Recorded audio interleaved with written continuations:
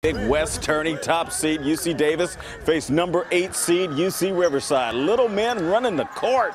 Five foot eight. Arnell Hennings drains the three. Then five foot nine, TJ Shorts is going through traffic all the way to the rim. Aggies were up by seven at the half, but they had to dig deep in the second half. Michael Anibalu carried this team down the stretch. Aggies hold on to win 70 to 66. They will face Cal State Fullerton tomorrow at 6:30.